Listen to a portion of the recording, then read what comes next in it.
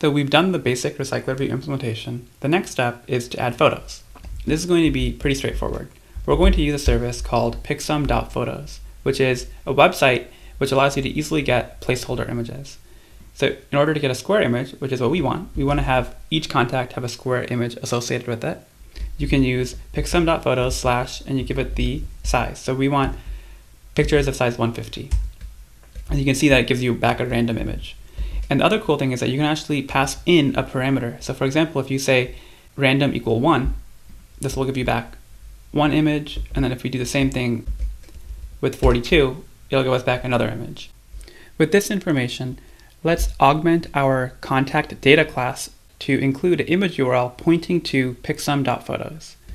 Let's open up Android Studio, open up the contact data class, and we're going to add in one more attribute called image URL. And this will be picsum.photos slash 150, and we want to pass in a random number here. And we can actually just use the age field that we already have. The next thing we'll need is to add in the internet permission to our project because we're going to be downloading these images from the internet. So open up the Android manifest file and right before the application tag, let's add in a user's permission and just type internet. Now let's update our item contact XML, which represents one row of our recycler view, to include an image view. So I'll drag these text views over to the side and let's drag in an image view. So Android Studio is going to ask you what kind of sample data do you want? And usually I'll just go with avatars. And what we want here is to change the constraints of these text views to be to the left of the image view. So both of these should be to the left. And let's make the margins here like 8 pixels to the left of the image view. They should still be aligned. Next, we need to add some constraints on the image view here. So we'll make it 0 pixels from the top and to the left. And let's actually hard code in the width and height just because we know what size image we're getting. I'll make it 120 dp for the width and height. And then we should also update the ID. We'll call it IV profile. And so one cool thing we can do actually is we called this layout item contact. If we wanted to see what this might look like in the overall view, there's a attribute in the tools namespace. This is a preview functionality you can kind of see what things might look like if I start referencing item contact. Though Android unfortunately doesn't have an inbuilt way to fetch and show remote images. And so to make that our life easier, we're going to use a library called Glide. So if you just search for Glide Android code path, the first hit should be this article displaying images with the Glide library. And so just copy and paste these lines, and we're going to put it into the build.gradle file, which is located in the app module. Then you can tap sync now. And what sync now is doing is it's actually going to download the contents of these libraries so we can start to reference these. Now let's open up the adapter. And the adapter is where we are showing the logic for each row in our recycler view. So this is where we're going to be modifying the code in order to actually show the image. So we'll say item view and we'll pass in the ID of our image view. So we call it IV profile. And we need to use glide now in order to load an image into this image view. The way that works is we'll say glide dot with and we pass in a context. And this context is coming from the constructor of our contact adapter. And we'll load in the remote image URL. And so that will be an attribute on, on our data class contact. So we'll say contact.image URL and we're going to put it into an image view, and that's what itemview.iv profile is.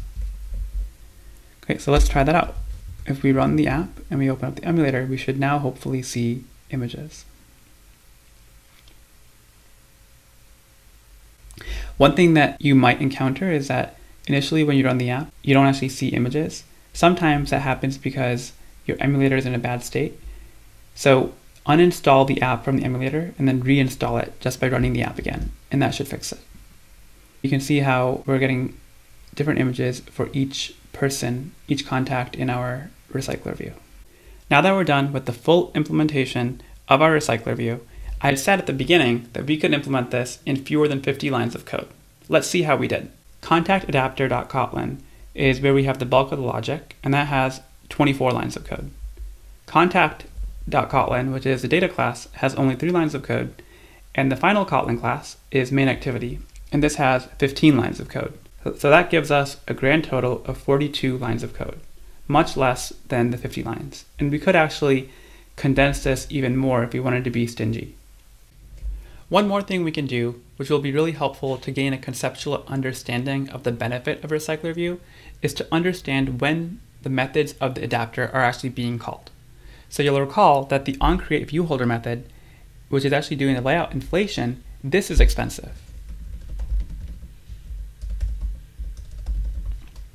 On the other hand, on bind viewholder, which already has a viewholder passed into it and it's simply binding data to it, this is not expensive. So to test that assumption, one thing we can do is actually log out something for each of these methods. I'm going to add a tag.